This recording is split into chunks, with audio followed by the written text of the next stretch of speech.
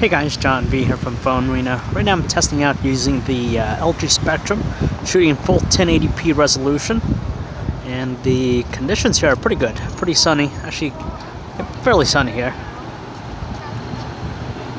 And from the looks of it, it's uh, recording video at a really nice rate, very smooth, no evidence of choppiness or lag. Exposure seems good, but though at a neutral setting it tends to over overexpose some things.